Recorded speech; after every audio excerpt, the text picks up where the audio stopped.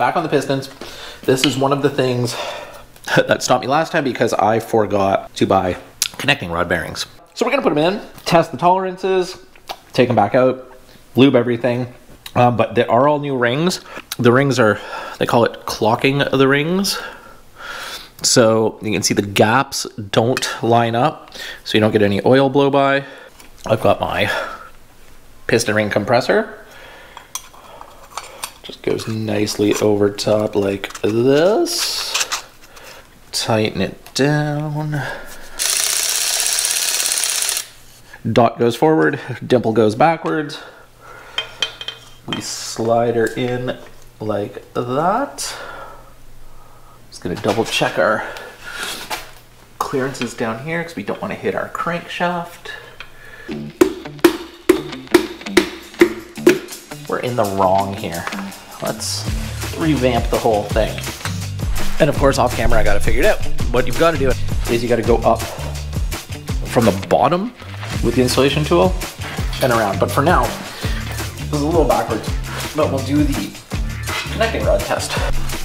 So you can see my connecting rod down here. Basically what I did was rotated the crankshaft so I knew when I was putting it in I wouldn't hit it. I decided I'm going to put the bearing on in here. Not that this is the easiest thing in the world to do. There we go. Pull the piston up. I've already got this side done up with the new bearing. And we got to put a piece of plastic gauge on there and we'll find out what our tolerances are. And we'll put it right there.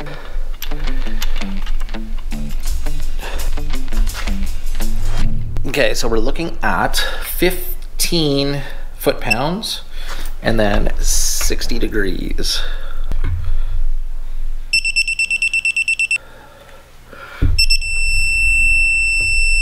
Torque down, no back and forth wiggle. We got a bit of side to side, we want that. All right, let's pop these off and see what our plastic gauge says. So I should be 0.023 to 0.076. It's a big range. I don't know if this will show up on the camera or not. We are at 0.076. So we're on the bigger end. So we'll say we're in spec there. Now, we gotta push the piston back up, lube this bearing, bring it back down. That one will be in. It's sliding nice. I got some Lucas assembly lube because, you know, why not? We'll set this guy on and we'll move on to cylinder number two. Best thing to do with rings is find the edge and just kind of slide them off like that. Ba-doom. This ring, uh, there is absolutely no identifying marks on. There's no angle on it. It's a flat surface, but top ring. So second ring, we'll find our gap. There we go. Small dot on there to tell you what the orientation is. That means that side goes up. And also if you look super close, it has a little bit of an angle to it. Basically what this dot tells you is that this is the widest part and then the chamfer is there. So this is slightly narrower. So it's like a sweeper ring. Now, oil rings. First super thin ring. Second is this crazy honeycomb ring. My five-year-old did my did my nails for me yesterday. We had a spa day. It was awesome. Oh, well, somehow I managed to pull the bottom oil ring off. Look at, there's a lot of gunge in there. We're gonna start with this crazy oil ring. And what we're gonna do is find a groove like this, lock it in, and just kind of wrap it around through the groove that it's in. See, pops right in. Same scenario. I like to do the bottom one first because for some reason I think it's more difficult. It's not. So it goes in the groove right under. And once again, we just walk it around. And there we go. So we have our bottom ring on. And then we do the same with the top for this one. Now when it comes time to putting it in, we'll just make sure none of those grooves line up with each other. So we maintain compression. See there's one split there. there, and then the oil ring one was over there. So now I am going to go get a really small screwdriver. There's a lot of grunge in this one. The first one wasn't so bad. So I'm going to go in and I'm going to clean out this gap. So I found another little problem here too. This was stuck in place. These are supposed to float back and forth. I've got it moving now. So I'm gonna steam clean all this carbon out around here too. So there's definitely an issue with this cylinder. So a little bit of time traveling here. It's two hours later and uh, brought this up to the ultrasonic cleaner and cleaned out all the ring lands there because oof, that carbon was intense. We'll go ahead and redo all these.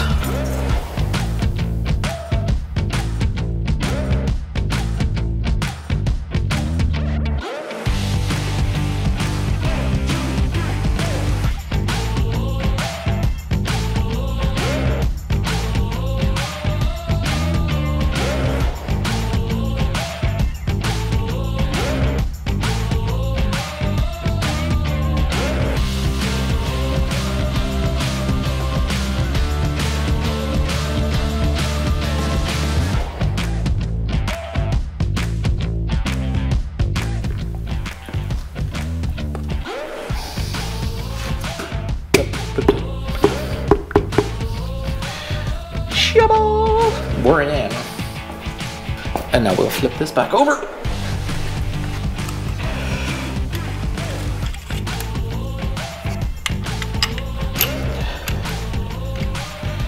Cylinder number three. Okay, well, let's go get the rings off and see how badly carboned up it is.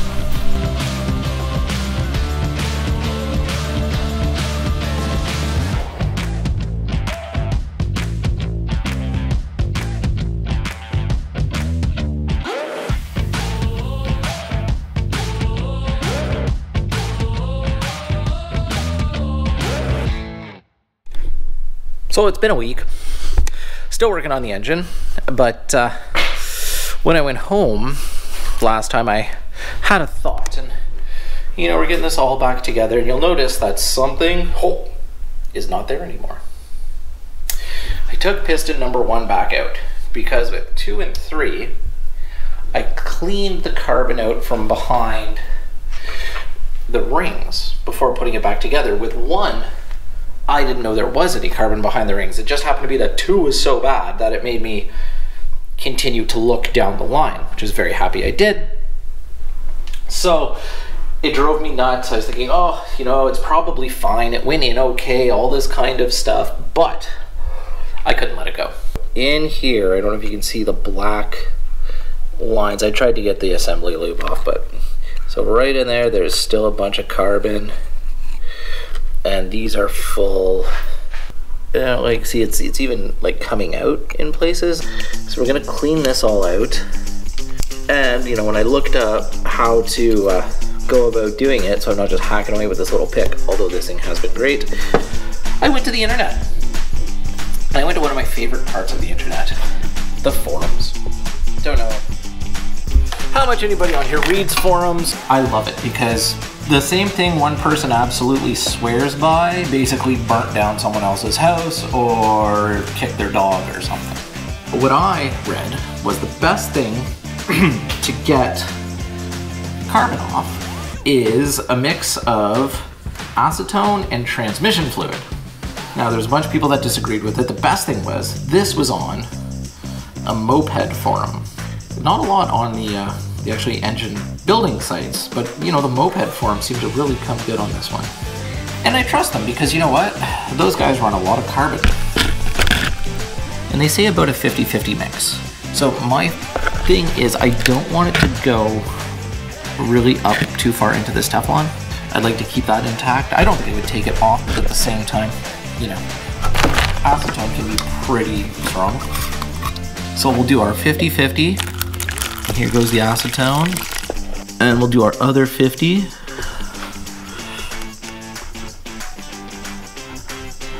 Where are we at? I'm still gotta make sure I get into that top groove. Oh yeah, we're there. Now we'll just let it mix up a bit here. Do do do stirring. What I'm going to do now is I'm going to get coffee. Why? Because I'm old. And uh, I find I know you say that a lot, it seems on this channel, but one of the best things about being old is you get routine. My routine so far has been coffee and donuts when I'm down at the shop. And you know what? You guys benefit because I'm funnier. It's like how when other people around me drink booze, I look better. Well, you know what? When I drink coffee, I become a little bit funnier. Well, at least to myself. My wife may disagree. I think I'm one solid dad joke away from divorce. Got piston one back in, and check this out. It's right about there. It had this real tight spot. And I guess what it was was it was actually the rings binding in cylinder one because they weren't fully compressed. They were pushed out by just that little bit of carbon behind them. So that means I get the fun job now of going through the other five, which is fine. I would much rather do it take the time and know I have a strong bottom end. Now you can see just the crud that comes out.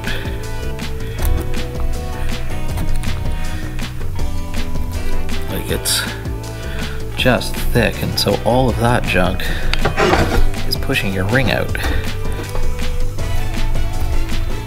Like lots of junk. These ones are obviously harder because it's so narrow. So the oil ring just kind of slides in. I just go easy. Look at So all of that is hiding behind your rings. Now this will clean the top and the bottom because it's thicker.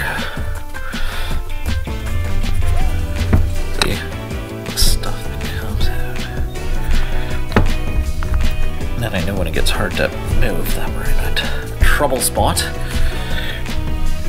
Something else that's, uh, I'm guessing everyone knows, but I didn't at first, and it makes life easier, is you put your bearing caps on, you'll see they actually line up with the way the rod was cut. See how it's got a weird angle there? Goes right in. If I were to flip it around to the other side, fit. See the gap? And you go back there. Perfect fit. Just like a puzzle piece. Alright, so piston 5 is going in. And uh, we're muddling our way through. Want to do a flyover? Oh, nothing. The gears got, got a couple things going on there. And then we get to nothing. Alright. On to my next bit of business.